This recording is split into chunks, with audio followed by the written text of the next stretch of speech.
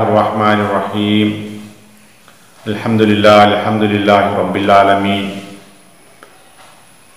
പ്രിയങ്കരനായ നമ്മുടെ principal Jamsheer sir ഇന്ന് ഇന്നത്തെ നമ്മുടെ മുഖ്യാതിഥി മുനീർ വരന്തരപ്പള്ളി സാഹിബ് അവറുകളെ വിദ്യാർത്ഥി വിദ്യാർത്ഥിനികളെ രക്ഷിതാക്കളെ സഹപ്രവർത്തകരെ അസ്സലാമു അലൈക്കും വറഹ്മത്തുള്ളാഹി വബർക്കാത്ത് പ്രതീക്ഷയുടെ മാസമാണ് മുഹറം. ഒരുപാട് ചരിത്ര സംഭവങ്ങൾ ഒരുപാട് ഗുണവിശേഷണങ്ങളുള്ള മാസമായതുകൊണ്ട് തന്നെ ഇതറിയാതെ മലബാർ കുടുംബം കടന്നു പോവാൻ പാടില്ല എന്ന നിർബന്ധത്തിന് വഴങ്ങി. നമുക്ക് ഇവിടെ ഒത്തുചേർന്ന് അത് പരസ്പരം പറയുകയും കേൾക്കുകയും ചെയ്യാം. നമ്മുടെ യോഗ അധ്യക്ഷൻ നമ്മുടെ സാ പ്രിൻസിപ്പൽ അവറുകൾ തന്നെയാണ്. അദ്ദേഹത്തെ ഈ പരിപാടിയിലേക്ക് വളരെ ഹൃദ്യമായി സ്വാഗതം ചെയ്യുന്നു. വിഷയാവതരണം നടത്തുന്നത് എന്റെ സുഹൃത്തും തൃശ്ശൂർ ജില്ലാ നാദിമുമായ മുനീർ പരന്തരപ്പള്ളി അവറുകളാണ്. അദ്ദേഹത്തെ ഈ മലബാർ കുടുംബത്തിന് വേണ്ടി വളരെ ഹൃദ്യമായി സ്വാഗതം ചെയ്യുന്നു. നമ്മൾ ഇതിനോടനുബന്ധിച്ച് പല ക്ലാസ്സുകളിലേക്കും വ്യത്യസ്തങ്ങളായ പ്രോഗ്രാമുകൾ സംഘടിപ്പിക്കുന്നുണ്ട്.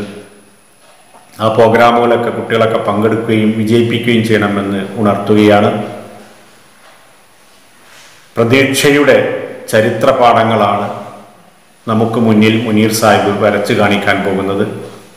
വാഗ്മിയും പ്രാസംഗികനും നല്ല ഓർഗനൈസിംഗ് പവറുള്ള അദ്ദേഹത്തിന്റെ പ്രഭാഷണം അദ്ദേഹത്തിന്റെ സന്ദേശം നമുക്ക് ഉപകാരപ്പെടും എന്നുള്ളത് ഉറപ്പാണ്. എല്ലാ ആളുകളെയും ഒരിക്കൽ കൂടി സ്വാഗതം ചെയ്തുകൊണ്ട് ഞാൻ എന്റെ സ്വാഗത ഭാഷണം ഇവിടെ അവസാനിപ്പിക്കുന്നു.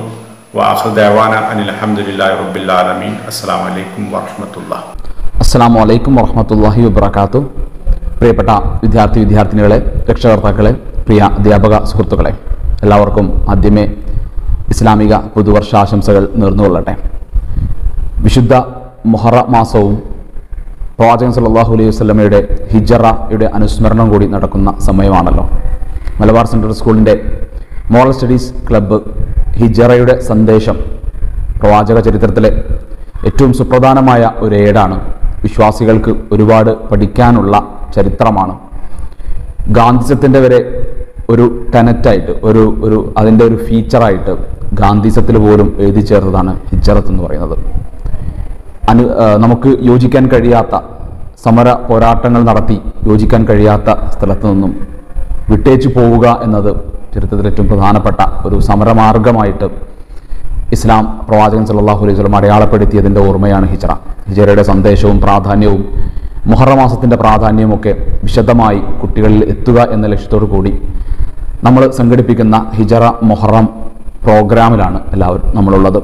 ഈ പരിപാടിയിലെ മുഖ്യ പ്രഭാഷണം നടത്തുന്നത് മുനീർ വരന്തരപ്പള്ളി എന്ന വളരെ പ്രശസ്തനായ ഇസ്ലാമിക പണ്ഡിതനും പ്രഭാഷകനും എഴുത്തുകാരനുമാണ്. അദ്ദേഹം നമ്മുടെ കൂടെയുണ്ട്. അദ്ദേഹത്തിന്റെ സെഷൻ എനിക്ക് പിറകെ നിങ്ങൾക്ക് കേൾക്കാവുന്നതാണ്.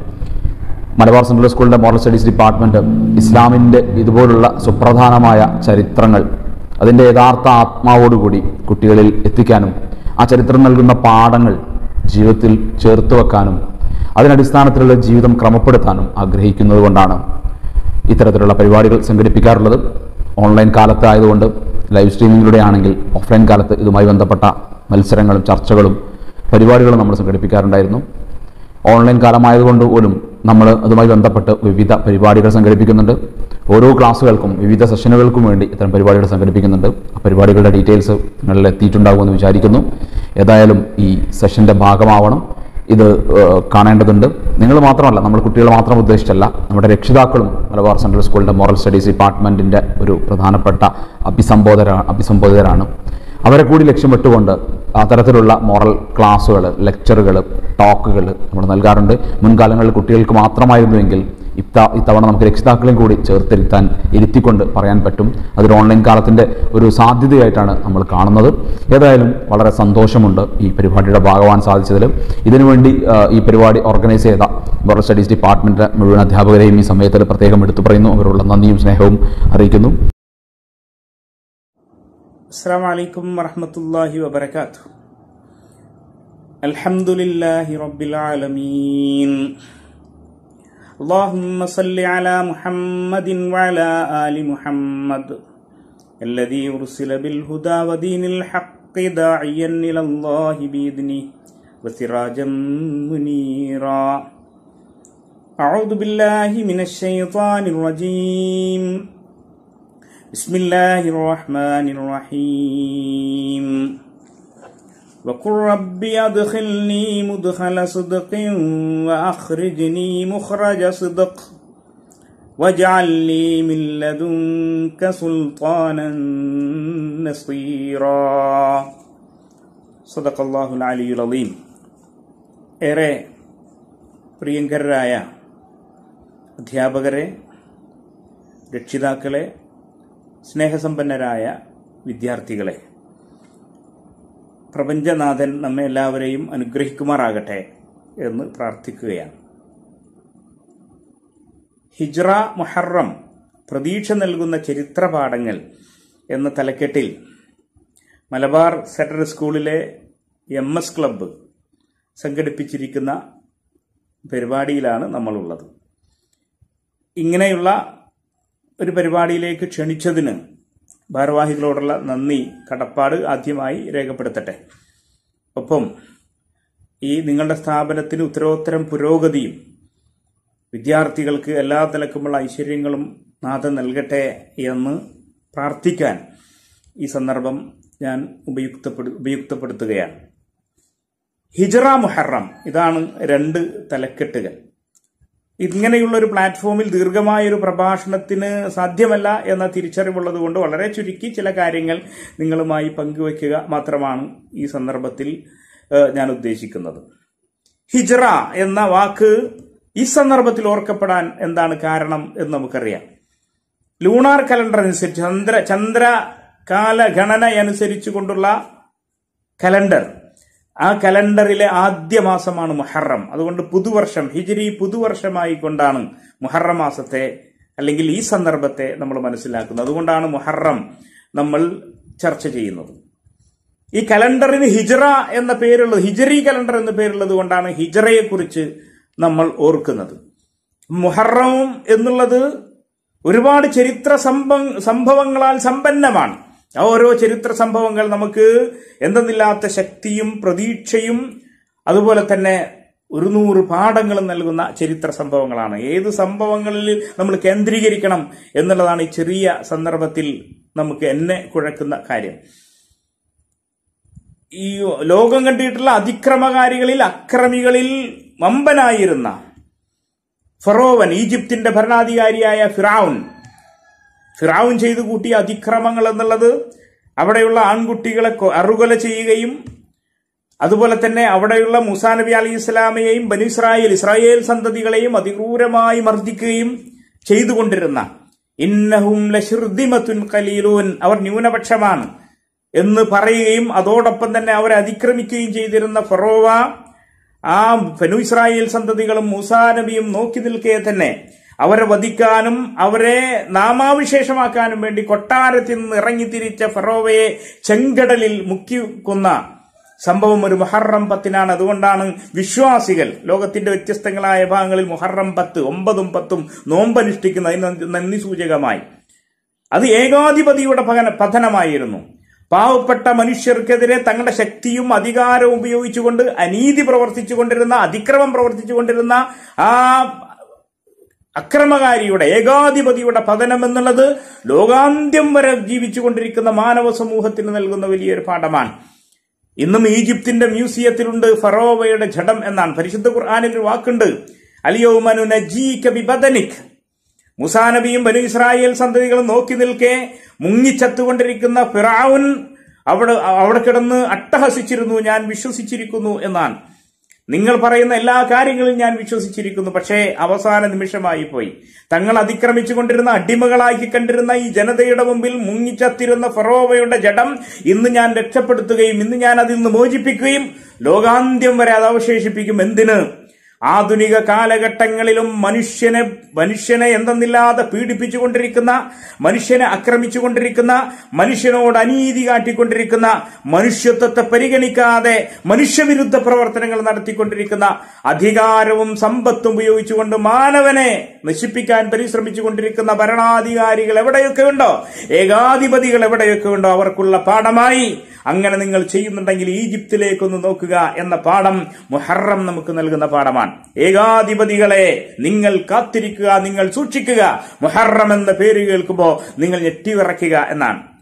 പതനം എല്ലാ ഏകാധിപതികളുടെയും അപ്പുറത്ത് പതനമുണ്ട് എന്നാണ്. അതാണ് മുഹറത്തിലെ ഒരു സംഭവം എന്നുള്ളത്. ഇനിയും ഇങ്ങനെ നോക്കിയാൽ മുഹറം നമുക്ക് നടന്ന സംഭവങ്ങൾ ചരിത്ര സംഭവബഹുലമായ ഒരുപാട് ഓർക്കേണ്ടുന്ന ഒരുപാട് സംഭവങ്ങൾ നമ്മെ ഓർമ്മപ്പെടുത്തുന്നുണ്ട്. മുസാ നബി അലൈഹി ഇസ്ലാം അള്ളാഹുമായി സംസാരിച്ചത് മുഹറത്തിലാണത്രേ. ചെമ്മിങ്കലത്തിന്റെ വയറ്റിൽ നിന്ന് യൂനുസ് നബിയെ അള്ളാഹു രക്ഷപ്പെടുത്തിയത് മുഹറത്തിലാണ് എന്ന് ഒക്കെ നമുക്ക് ചരിത്രത്തിൽ ഇങ്ങനെ വായിക്കാനായിട്ട് സാധിക്കും. വളരെ പ്രധാനപ്പെട്ട ഒരു സംഭവമുണ്ട്. നമ്മൾക്ക് തിരിഞ്ഞു നിൽക്കുന്ന കിബല കിബില കബാലയമാക്കി മാറ്റിയത്. അല്ലെങ്കിൽ ധാരാളം കാലം ഒരു ഒന്ന് രണ്ട് വർഷത്തോളം നബ്സല്ലാഹു അലിഹി വസല്ലമ തന്നെ തിരിഞ്ഞു നമസ്കരിച്ചിരുന്ന ഫലസ്തീനിലെ ബൈത്തുൽ മക്കദസിൽ നിന്നായിരുന്നു. ആ ബൈത്തുൽ മക്കദസിൽ നിന്ന് വിശ്വാസികളുടെ കിബിലയെ കബാലയത്തിലേക്ക് മാറ്റിയത് മുഹറം മാസത്തിലാണ് എന്ന് ചരിത്രം നമുക്ക് പറഞ്ഞു തരുന്നു. മുഹറത്തിലെ ഒരു സങ്കടമുണ്ട്. ഇന്ന് ഷിയ സമൂഹം ഷീ- ഷീഹികൾ മുഹറത്തിന്റെ നഹസായി സ്വന്തം ശരീരത്തെ മർദ്ദിക്കാനും ഒക്കെ ആയിട്ട് ഉപയോഗിക്കുന്ന ഒരു മാസമാണ് മുഹറം എന്നുള്ളത്. പക്ഷേ മുഹറം നമ്മൾ ഇങ്ങനെ ഓരോ ചരിത്രം എടുത്തു നോക്കുമ്പോൾ വിജയത്തിന്റെ പ്രതീക്ഷകളുടെ മനുഷ്യ സമൂഹത്തിന്റെ സമാധാനത്തിന്റെ നാളെയെക്കുറിച്ചുള്ള എന്തെന്നില്ലാത്ത ശക്തി നൽകുന്ന സംഭവബഹുലമായ ഒരു മാസം ഒരു ഒരു ചരിത്ര ചരിത്രങ്ങൾ നിലകൊള്ളുന്ന മാസമാണ് മുഹറം എന്നുള്ളത്.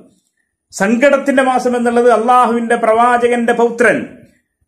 അവിടുത്തെ പ്രിയപുത്തി ഫാത്തിമയുടെയും അലീബിൻ അബി താലിബ് അലി അള്ളാഹുനുവിന്റെയും മകനായിരുന്ന ഹുസൈൻ അലി അള്ളാഹു അനുവിനെ കർബലയിലിട്ട് യസീദിന്റെ പട്ടാളം വളയുകയും അതിക്രൂരമായി വധിക്കുകയും ചെയ്ത കർബല നടന്നത് മുഹറം അല്ലെങ്കിൽ ഹുസൈൻ അലി അള്ളാഹുനുവിന്റെ രക്തസാക്ഷിത്വം മുഹറം പത്തിനായിരുന്നു എന്നുകൂടി ഒരു സങ്കടമായി ഈ കർബലയിൽ നിലകൊള്ളുന്നുണ്ട്. എന്ന് എന്നാലും ഹുസൈൻ അലി അള്ളാഹുനുവിനെ കർബലയിൽ ചിത്രവധ ശരീരത്തിൽ നിന്ന് ശിരസ് വേർപ്പെടുത്തിക്കൊണ്ട് ചിത്രവധം നടത്തിയാലും പതിനാല് നൂറ്റാണ്ടുകൾക്ക് ഇപ്പുറത്ത് നിന്നുകൊണ്ട് ഏതൊരു ആദർശത്തിന് വേണ്ടിയിട്ടാണോ ഏതൊരു നീതിക്ക് വേണ്ടിയിട്ടാണോ ഹുസൈൻ റലി അള്ളാഹുനു നിലകൊണ്ടത്? ആ നീതിക്ക് വേണ്ടി നിലകൊള്ളുന്ന സകലമാന വ്യക്തികൾക്കും ഊർജമായിക്കൊണ്ട് ഹുസൈൻ റലി അള്ളാഹുനുവിന്റെ രക്തിസാക്ഷിത്വം ഇപ്പോഴും നിലകൊള്ളുന്നു. കോടിക്കണക്കിന് വിശ്വാസി സമൂഹം ഹുസൈൻ റലി അള്ളാഹുനുവിനെ ഇപ്പോഴും ഓർക്കുന്നുണ്ട് എന്നാണ്. ഹുസൈൻ അലി അള്ളാഹുന്റെ കഥ കഴിച്ച യസീദ് ചരിത്രത്തിന്റെ ഭാഗമായി മാറുകയും ചെയ്തു.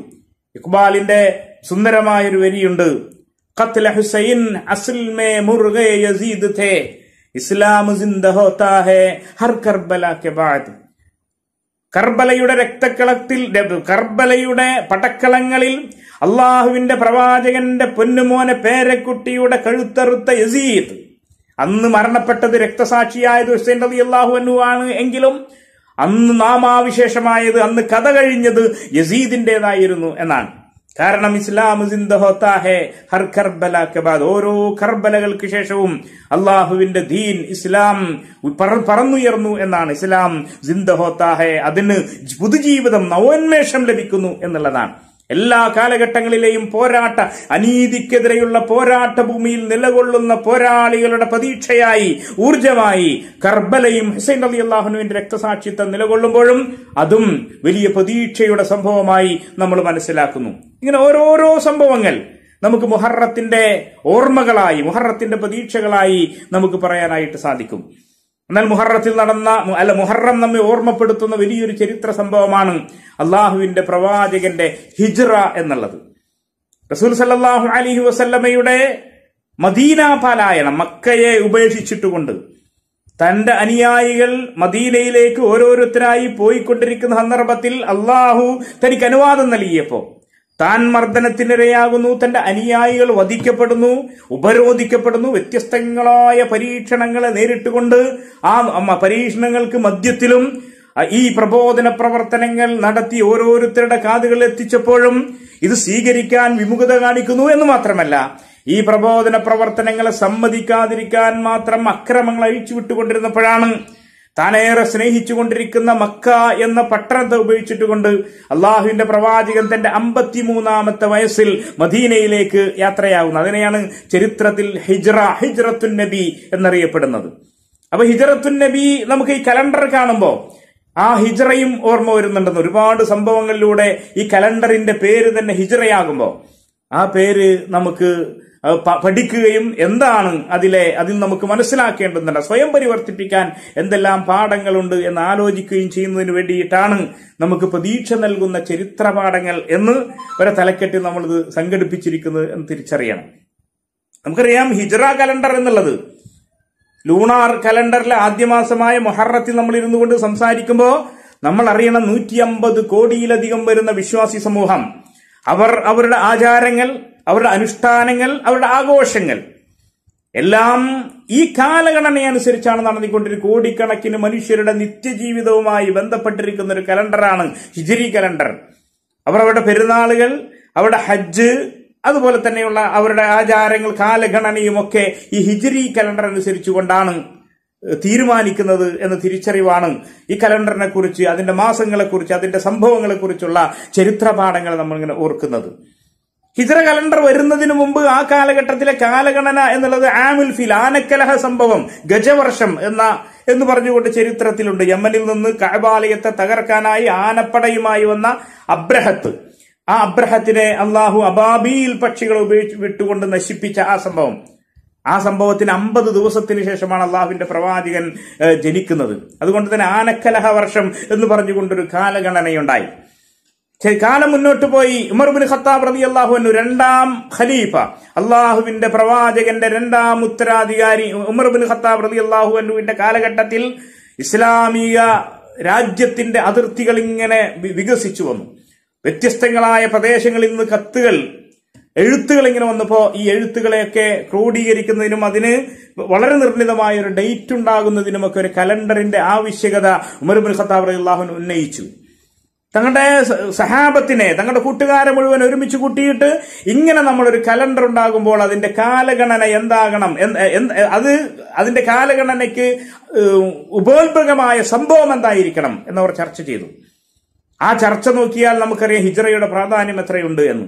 അതിൽ ആദ്യം ചർച്ച വന്നത് അള്ളാഹുവിന്റെ പ്രവാചകന്റെ ജനനമായിരിക്കണം. പ്രവാചകന്റെ ജനനം അടിസ്ഥാനമാക്കിയിട്ടായിരിക്കണം നമ്മൾ കാലം കണക്കാക്കേണ്ടത്. ഈസാ നബി അലൈഹി ഇസ്ലാം ജീസസ് ക്രൈസ്റ്റിന്റെ ജീവിതവും അദ്ദേഹത്തിന്റെ മരണവുമായി ബന്ധപ്പെട്ടതൊക്കെയാണ് ബി സിയും അതുപോലെ തന്നെ എ ഡിയും ഒക്കെ ഉണ്ടാകുന്നത്. മുഹമ്മദ് നബിയുടെ ജന്മവുമായിട്ടുണ്ടാകണമെന്ന ചർച്ച വന്നു. അത് അതുപോലെ തന്നെ അള്ളാഹുവിന്റെ പ്രവാചകൻ മരണപ്പെട്ട ദിവസമാകണം എന്ന ഒരു ചർച്ചയും വന്നു.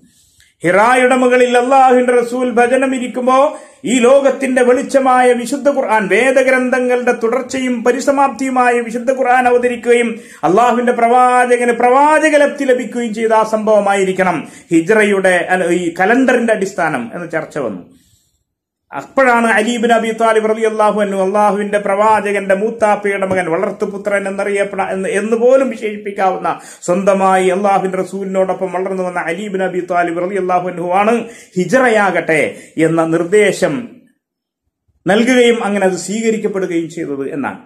നമ്മുടെ കലണ്ടറുകളിലെ ഹിജറ കലണ്ടറിൽ കാണുമ്പോൾ ഓർമ്മ വരണം നമുക്ക്. ഈ കലണ്ടർ കാണുമ്പോൾ ഓർമ്മ വരേണ്ടുന്ന സംഭവം അള്ളാഹുവിന്റെ പ്രവാചകന്റെ ഹിജറയായിരിക്കണം. അത്രമാത്രം സംഭവ ബഹുലമാകുന്നു ഈ ഹിജറ എന്നുള്ളത്.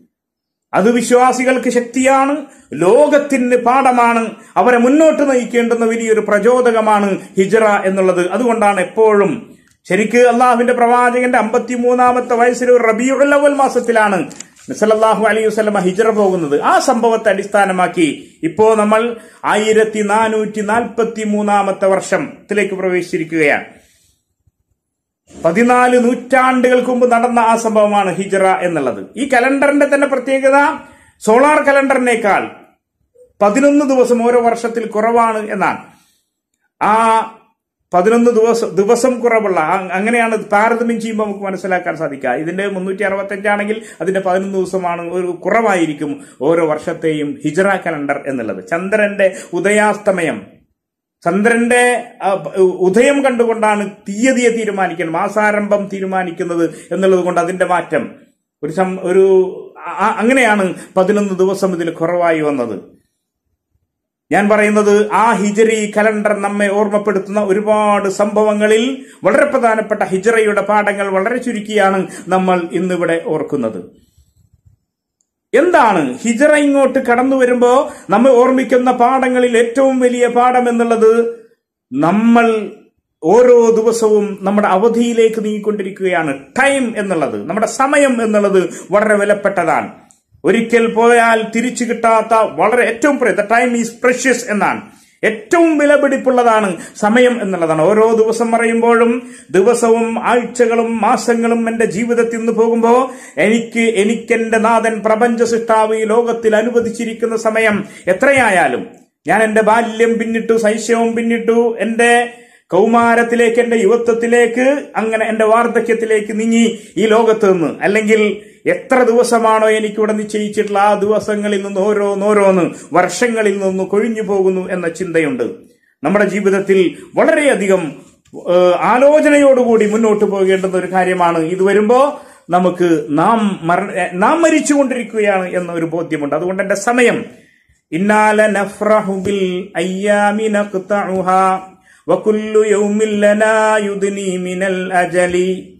فاعمل لنفسك قبل الموت مجتهدا فإنما الربح والخسران في العمل ഇത്ര സന്തോഷത്തോടു കൂടിയിട്ടാണ് നമ്മളിങ്ങനെ മുന്നോട്ട് പോകുന്നത് എന്നാൽ ഓരോ ദിവസവും എന്റെ അവധിയിലേക്ക് എന്നെ അടുപ്പിച്ചു കൊണ്ടിരിക്കുന്നു എന്റെ ഇന്നലകൾ ആ ഇന്നലകളെ കഴിഞ്ഞു പോയിരിക്കുന്നു ഇനി എത്ര ദിവസം എനിക്ക് ബാക്കിയുണ്ട് അതാണ് ഓരോ ദിവസവും എനിക്ക് നഷ്ടപ്പെട്ടുകൊണ്ടിരിക്കുന്നത് ആ നഷ്ടപ്പെട്ട സമയങ്ങളെ തിരിച്ചു വരില്ല എന്ന ഒരു വലിയ ബോധ്യവും നീ നിന്റെ സമയങ്ങളെ വളരെ വളരെ കൃത്യതയോട് ഉപയോഗപ്പെടുത്തുകയും നിനക്ക് വേണ്ടി നീ പണിയെടുക്കുക.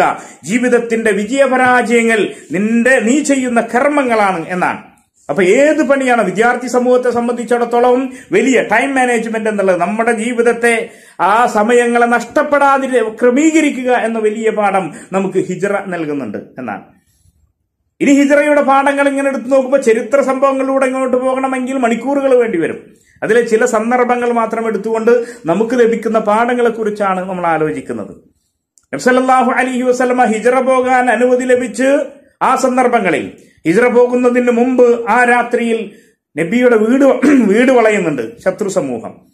അങ്ങനെ വീട് വളഞ്ഞുകൊണ്ടിരിക്കുമ്പോ ആ വീട്ടിൽ തന്റെ പ്രതിനിധിയായി കിടക്കാനായി ഏൽപ്പിച്ചത് അലീബ് നബി താൽ പ്രതി അള്ളാഹു അൻഹുവിനെയാണ്. ചരിത്രം നമുക്കറിയാം. ശത്രുക്കൾ ഇങ്ങനെ വീട് വളഞ്ഞു നിൽക്കെ? താൻ ഇതിന്റെ ഉള്ളിലുണ്ട് എന്ന് തെറ്റിദ്ധരിപ്പിക്കുന്നതിന് വേണ്ടി തന്റെ വെരുപ്പിട്ട് പുതച്ചു കിടക്കാൻ അലി റലി അള്ളാഹു അൻഹുവിനെ അള്ളാഹുവിന്റെ പ്രവാചകൻ അവിടെ പ്രതിനിധിയാക്കുന്നുണ്ട്. അങ്ങനെ അവർക്കിടയിലൂടെ അത്ഭുതകരമായി അള്ളാഹുവിന്റെ പ്രവാചകൻ ഇറങ്ങിപ്പോവുകയാണ്. ഞാൻ അലീബ് നബി താലിബ് റലി അള്ളാഹുനുവിന്റെ പേര് ഇവിടെ പറഞ്ഞത് ഹിജറ നൽകുന്ന പാഠങ്ങളിൽ മറ്റൊന്ന്. അള്ളാഹുവിന്റെ പ്രവാചകൻ അലിയെ ഏൽപ്പിച്ചിരുന്ന ഒരു ഉത്തരവാദിത്തമുണ്ട് താൻ മക്കയിലെ അൽ അമീനായി കഴിഞ്ഞുകൂടുമ്പോൾ വിശ്വസ്തൻ എന്നറിയപ്പെടുന്ന മുഹമ്മദ് നബിയുടെ കൈകളിൽ അവിടെയുള്ള ആളുകളൊക്കെ സൂക്ഷിപ്പ് സ്വത്തുക്കൾ ഏൽപ്പിച്ചിരുന്നു. അള്ളാഹുവിന്റെ പ്രവാചകൻ അലി അള്ളാഹുനുവിനോട് പറഞ്ഞത് തന്നെ കൊല്ലാൻ നിൽക്കുന്ന തലവെട്ടാൻ നിൽക്കുന്ന ഈ ശത്രു സമൂഹമടക്കം ഈ ജനതകൾ തന്നിൽ വിശ്വസിക്കാത്ത ജനങ്ങൾ തന്നെ വിശ്വസിച്ചേൽപ്പിച്ചിരുന്ന സമ്പത്ത് അലി അള്ളാഹുനെ ഏൽപ്പിച്ച് അതൊക്കെ അവർക്ക് തിരിച്ചു കൊടുക്കണം എന്ന് പറഞ്ഞു എന്നാണ്. ഹിജറയുടെ ആണ്ടറുതികൾ വരുമ്പോൾ അമാനത്തിനെ വിശ്വാസത്തെ നിങ്ങളുടെ ജീവിതങ്ങളിൽ നിങ്ങൾക്ക് ലഭ്യമാകുന്ന ഓരോ അണുപൈസയും നിങ്ങൾക്ക് അനുവദനീയമാണ് അന്യന്റെ ഒരു ഒരു നയാ പൈസ പോലും എന്റെ ജീവിതത്തിലേക്ക് കടന്നു വരരുത് എന്ന അതിസൂക്ഷ്മതയെ അള്ളാഹുവിന്റെ പ്രവാചകൻ അലിയിലെ അലി അലി അള്ളാഹുവിനെ ഏൽപ്പിച്ചിട്ട് ലോകത്തുള്ള മനുഷ്യ സമൂഹത്തിന് വലിയ പാഠം നൽകുകയായിരുന്നു. തന്നെ വധിക്കാൻ നിൽക്കുന്ന തന്നെ തന്റെ നാട്ടിൽ നിന്ന് പുറത്താക്കുന്ന തന്റെ അനുയായികളെ അതിനിഷ്ഠൂരമായി മർദ്ദിച്ചുകൊണ്ടിരിക്കുന്ന ഈ ജനത പോലും എന്നിൽ സമ്പത്തുകൾ സൂക്ഷിച്ചേൽപ്പിച്ചിട്ടുണ്ടെങ്കിൽ അതിൽ നയാ പൈസ പോലും താൻ എടുക്കാതെ അതെല്ലാം തിരിച്ചു കൊടുക്കാനായി Ali bin Abi Talib Ali അള്ളാഹുനുവിനെ ഏൽപ്പിച്ചുകൊണ്ട വിശ്വസ്തതയുടെ പാഠങ്ങൾ. വിശ്വാസി സമൂഹത്തിന് ലഭ്യമാകേണ്ടുന്ന മറ്റൊരു വലിയ പാഠമാണ്. ഇനിയും ഹിജറ നമുക്ക് നൽകുന്നത് ത്യാഗത്തിന്റെ പാഠങ്ങളാണ്. തൻ താൻ വിശ്വസിച്ച ആദർശത്തിന് വേണ്ടി. ഇക്കാലഘട്ടത്തിൽ ഈ ഹിജറയെ കുറിച്ച് ആലോചിച്ചു കൊണ്ടിരിക്കുന്ന വിശ്വാസി സമൂഹം താൻ ഏത് പാരമ്പര്യത്തിലാണ് നിലകൊള്ളുന്നത് എന്ന് തിരിച്ചറിവുണ്ട്.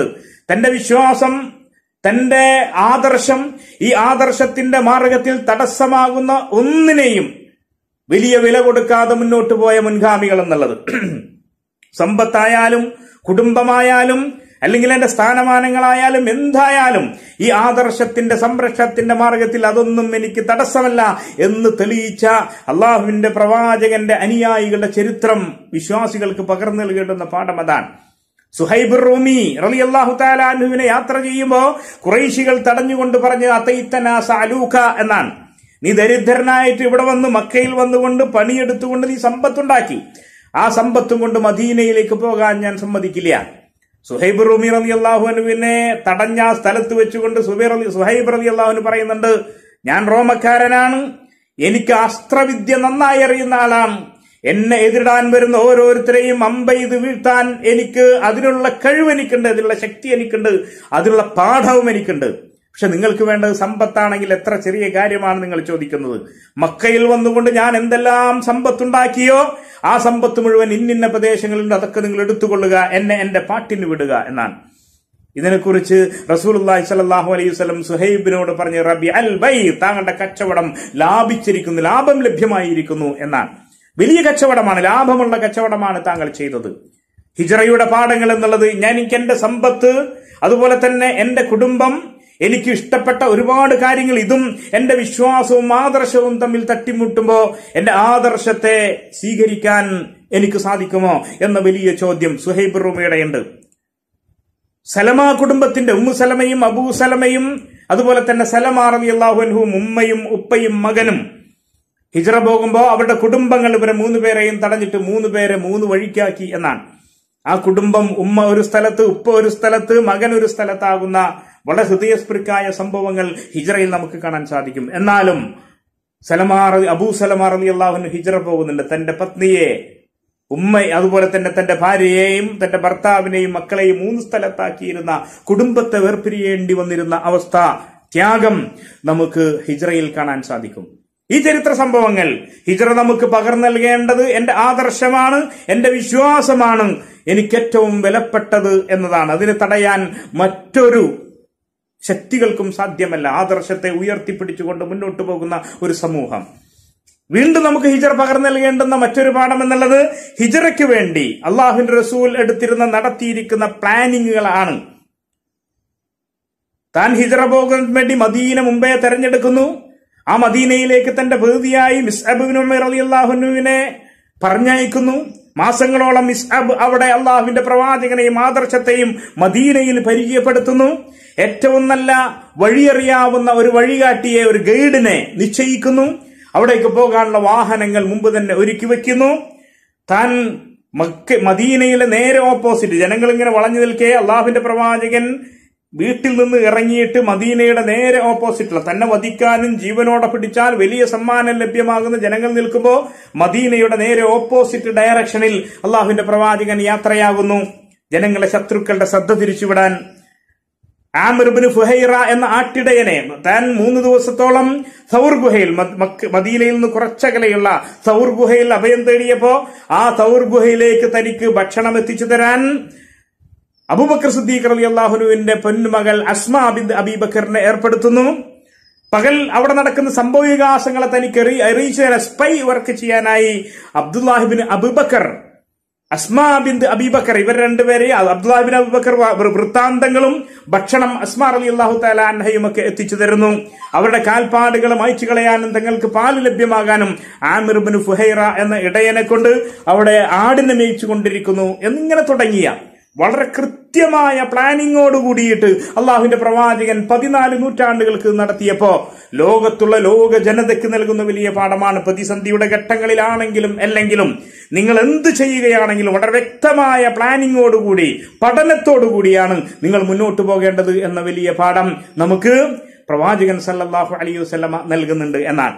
അവിടെ കാറ്ററിംഗിന്റെയും സേഫ്റ്റിയുടെയും സ്പേ അറേഞ്ച്മെന്റുകളൊക്കെ അള്ളാഹുവിന്റെ പ്രവാചകൻ ചെയ്തിട്ടുണ്ട്.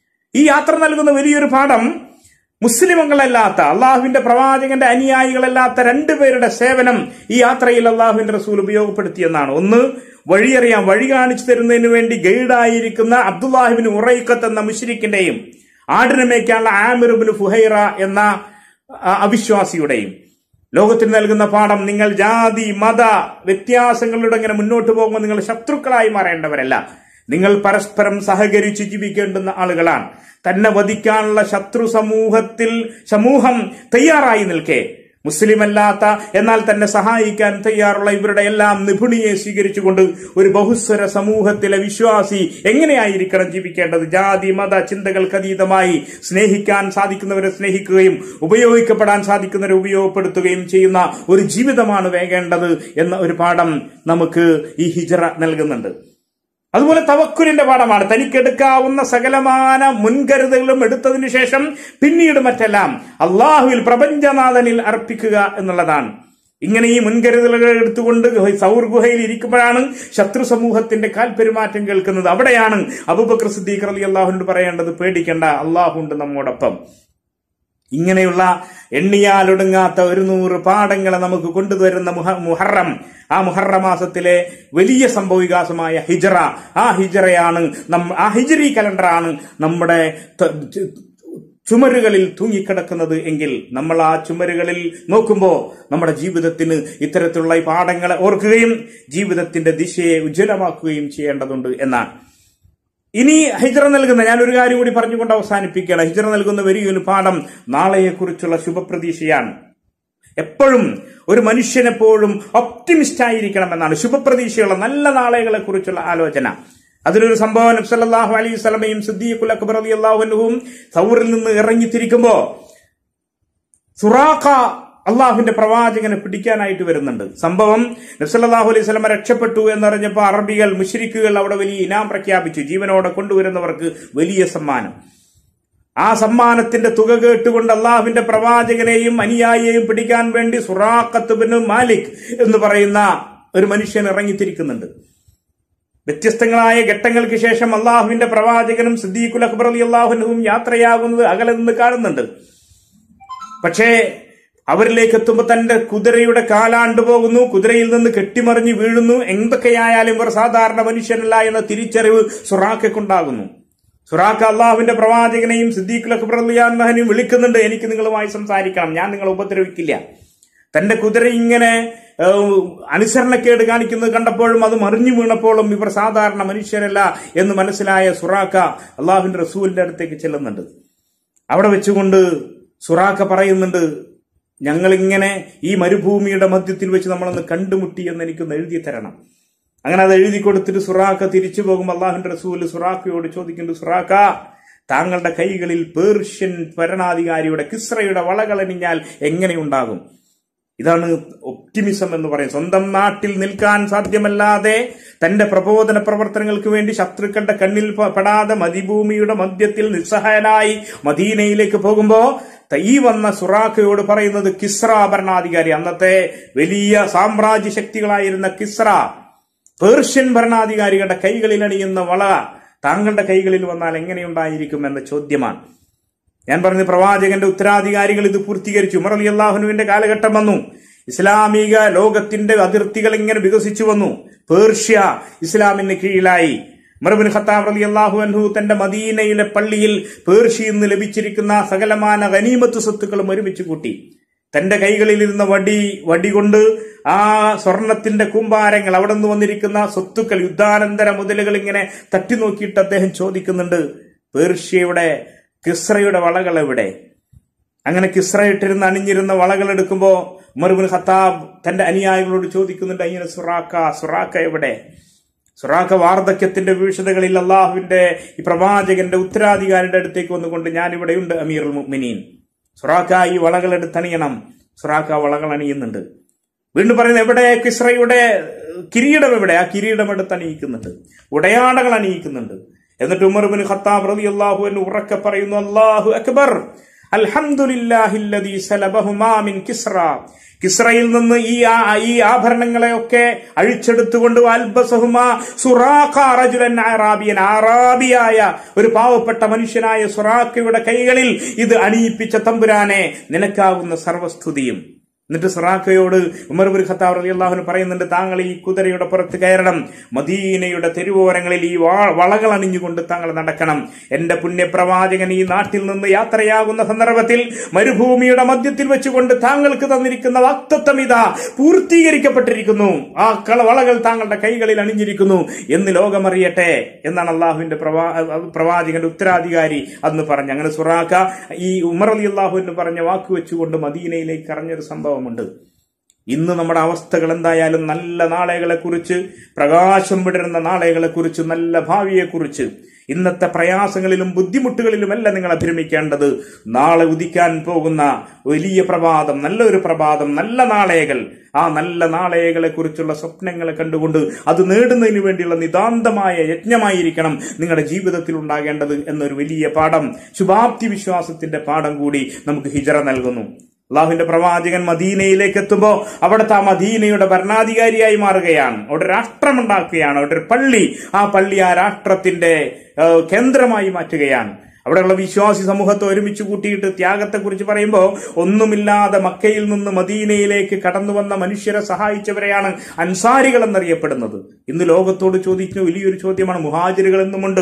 സ്വന്തം നാട്ടിൽ നിൽക്കപ്പെടാതെ നാട്ടിൽ നിന്ന് പുറത്താക്കപ്പെടുന്ന അട്ടിയിറക്കപ്പെടുന്ന മുഹാജിറുകളുണ്ട്. പക്ഷെ അവരെ സ്വീകരിക്കാൻ സ്വന്തം വീടും കുടുംബവും സമ്പത്തും നൽകി അവരെ സ്വീകരിച്ച അൻസാറുകൾ ലോകത്ത് നഷ്ടപ്പെട്ടുകൊണ്ടിരിക്കുമ്പോൾ ഹിജറയുടെ ആണ്ടറുതികൾ അങ്ങനെയുള്ള വലിയൊരു പാഠമാണ്. മദീന എന്നൊരു രാഷ്ട്രം അള്ളാഹുവിന്റെ പ്രവാചകൻ ഉണ്ടാക്കിയപ്പോ അവിടെ ഉണ്ടാക്കിയിരുന്ന ഒരു കരാണ്ട് വസീഖത്ത് മദീന.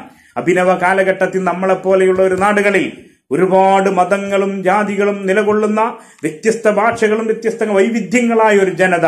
നമ്മുടെ ശക്തി തന്നെ അതാണ്. നമ്മൾ ഡൈവേഴ്സിറ്റി യൂണിറ്റി ഇൻ ഡൈവേഴ്സിറ്റി നാനാത്വത്തിൽ ഏകത്വം എന്ന് അള്ളാഹുവിന്റെ പ്രവാചകൻ മദീനയിലെത്തിയപ്പോ അവിടെയുള്ള ജൂത സമൂഹത്തെയും ക്രിസ്തവ സമൂഹത്തെയും ഒക്കെ ഒരുമിച്ച് കൂട്ടിയിട്ട് ഒരു കരാറുണ്ടാക്കി. നഹൻ ഉമ്മത്തുൻ വാഹിദ. നമ്മൾ ഒരൊറ്റ സമൂഹമാണ്. അഭിനവ കാലഘട്ടത്തിലെ മനുഷ്യ സമൂഹത്തിന് നൽകുന്ന ഹിജറ നൽകുന്ന സന്ദേശങ്ങളിൽ മദീനയെ നമ്മൾ ഓർക്കുമ്പോൾ മക്കയിൽ നിന്ന് അള്ളാഹുവിന്റെ പ്രവാചകന്റെ ഹിജറയുടെ ഭൂമിയായ മദീനയെ ഓർക്കുമ്പോൾ ഈ കാലഘട്ടം നമുക്ക് നൽകേണ്ടുന്ന വലിയൊരു പാഠമാണ്.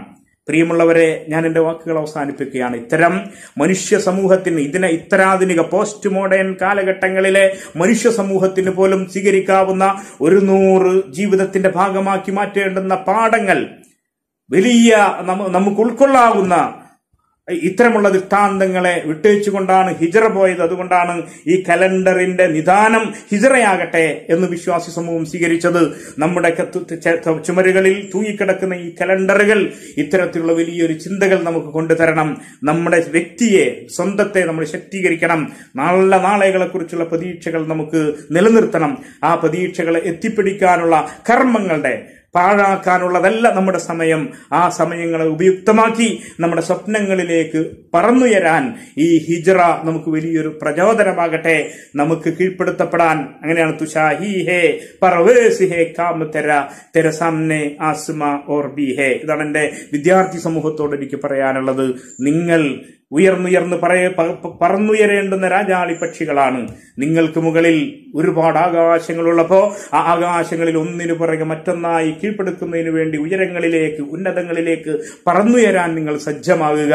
അതിനുവേണ്ടി ഇന്ന് നമ്മൾ ഒരുമിച്ച് കൂടിയ ഈ മുഹറത്തിന്റെ ഹിജറയുടെ ഓർമ്മകൾ മുന്നോട്ട് കുതിക്കാൻ ഭാവിയിലേക്ക് കുതിക്കാൻ നല്ല നാളെകളെ സ്വപ്നം കാണാൻ ആ സ്വപ്നങ്ങൾക്ക് ചിറകുകൾ നൽകാനുള്ള ചരിത്ര സംഭവവും പാഠങ്ങളുമായി നമുക്കിത് മാറട്ടെ എന്ന് ആശംസിച്ചുകൊണ്ട് ഒരിക്കൽ കൂടി എല്ലാവർക്കും എന്റെ നന്ദിയും കടപ്പാടും അറിയിച്ചുകൊണ്ട് പ്രപഞ്ചനാഥൻ അവന്റെ മാർഗത്തിൽ ഈ ചരിത്ര സംഭവങ്ങളിൽ നിന്ന് പാഠം ഉൾക്കൊണ്ടുകൊണ്ട് സ്വയം പരിവർത്തനാകാനും നല്ല നാളെകളിലേക്ക് വേണ്ടിയുള്ള കർമ്മങ്ങളിലൂടെ മുന്നോട്ട് പോകാനും നമ്മെ അനുഗ്രഹിക്കുമാറാകട്ടെ. അലൈക്കും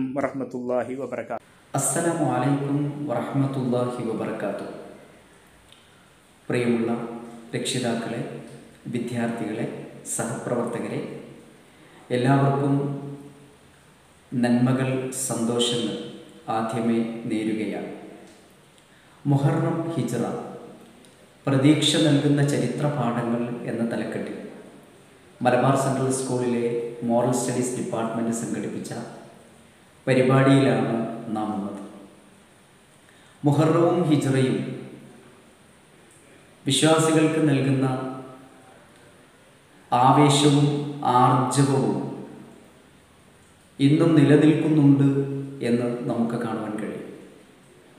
ഓരോ വർഷവും ഇസ്ലാമിക കലണ്ടർ അതിന്റെ പുതുവർഷ പിറവിയായ മുഹറം വരുമ്പോഴും ആ മുഹറത്തെ കുറിച്ചും ഹിജറ കലണ്ടറിന്റെ ആരംഭം എന്നുള്ള നിലയ്ക്ക് ഹിജറയെക്കുറിച്ചും വളരെ സവിസ്തരമായിട്ടുള്ള ചർച്ചകൾ സംഘടിപ്പിക്കാറുണ്ട് പ്രഭാഷണങ്ങൾ നടത്താറുണ്ട്. ഹിജറയെക്കുറിച്ചും മുഹറത്തെക്കുറിച്ചും നമ്മുടെ വിദ്യാർത്ഥികൾക്ക് ഉണ്ടായിരിക്കേണ്ട അറിവുകളിലേക്ക് വെളിച്ചം വീശുന്ന ഒരു പരിപാടിയാണ് യഥാർത്ഥത്തിൽ ഈ പ്രോഗ്രാം കൊണ്ട് ഉദ്ദേശിക്കുന്നത്. അതോടൊപ്പം തന്നെ ക്വിസ് മത്സരങ്ങൾ നടക്കുന്നു. ഹിജറ മാസങ്ങളെ ആവിഷ്കരിച്ചുകൊണ്ടുള്ള വീഡിയോ മേക്കിംഗ് ചെറിയ വിദ്യാർത്ഥികൾക്ക് നടത്തുന്നു. അതുപോലെ തന്നെ നബിയുടെ ഹിജറയെക്കുറിച്ചിട്ടുള്ള സ്പീച്ച് അതും നമ്മുടെ ഈ ക്യാമ്പയിനിന്റെ ഭാഗമായി നടത്തിക്കൊണ്ടിരിക്കുന്നുണ്ട്. ഈ സന്ദർഭത്തിൽ നമുക്ക് ലൈവ് സ്ട്രീമിങ്ങിലൂടെ അരമണിക്കൂറോളം നീണ്ടു നിൽക്കുന്ന പ്രഭാഷണത്തിലൂടെ ബഹുമാന്യനായ മുനീർ വരന്തരപ്പള്ളി സാഹിബ് വളരെ കൃത്യമായി നമുക്ക് ഹിജറയുടെയും മുഹറത്തിന്റെയും സന്ദേശം എത്തിച്ചു നൽകുകയുണ്ടായി. അദ്ദേഹത്തിന് മലബാർ സെൻട്രൽ സ്കൂളിന്റെ ഹൃദ്യമായ പ്രാർത്ഥനകൾ നന്ദികൾ രേഖപ്പെടുത്തുകയാണ്. അതോടൊപ്പം തന്നെ നമ്മുടെ ഈ പരിപാടിയുടെ അധ്യക്ഷപദം അലങ്കരിച്ച ബഹുമാന്യനായ principal Jamsheer Naha sir vice principal Abbas sir അതുപോലെ തന്നെ മോറൽ സ്റ്റഡീസ് ഡിപ്പാർട്ട്മെന്റിന്റെ അംഗങ്ങൾ. ഈ പരിപാടി കൃത്യമായി കേൾക്കുകയും അത് വിദ്യാർത്ഥികളിലേക്ക് കൈമാറ്റം ചെയ്യുകയും ചെയ്ത എന്റെ പ്രിയപ്പെട്ട രക്ഷിതാക്കൾ എല്ലാവർക്കും ഈ സന്ദർഭത്തിൽ മോറൽ സ്റ്റഡീസ് ഡിപ്പാർട്ട്മെന്റിന്റെ എല്ലാവിധ നന്ദിയും കടപ്പാടും രേഖപ്പെടുത്തുകയാണ്. അള്ളാഹു സുബാനുഭവത്താല നമ്മെ എല്ലാവരെയും അനുഗ്രഹിക്കുമാറാകട്ടെ. പ്രപഞ്ചനാഥന്റെ വജിഹ് ഉദ്ദേശിച്ചുകൊണ്ട് നമ്മൾ ഇന്ന് നോറ്റ ഇന്നും ഇന്നലെയുമായി നോറ്റിട്ടുള്ള ഈ മുഹറം ഒമ്പതിലെയും പത്തിലെയും നോമ്പിനെ അള്ളാഹു നമ്മിൽ നിന്ന് കബൂൽ ചെയ്ത് അനുഗ്രഹിക്കുമാറാകട്ടെ. പ്രപഞ്ചനാഥൻ നമ്മൾ അനുഭവിച്ചു കൊണ്ടിരിക്കുന്ന എല്ലാ പ്രതിസന്ധി ഘട്ടങ്ങളെയും തരണം ചെയ്യുവാനും ഉള്ള കൽപ്പ് നമുക്കെല്ലാവർക്കും നൽകി അനുഗ്രഹിക്കുമാറാകട്ടെ. ഈ മഹാമാരിയിൽ നിന്നുള്ള മോചനം പ്രപഞ്ചനാഥൻ നമുക്ക് നൽകി അനുഗ്രഹിക്കുമാറാകട്ടെ. റബ്ബന ആത്തിന ഫി ഹസന വഫിൽ ആഖിറതി ഹസനത വഖിന അദാബന്നാർ. അസ്സലാമു അലൈക്കും വറഹ്മത്തുള്ളാഹി വബറകാതുഹു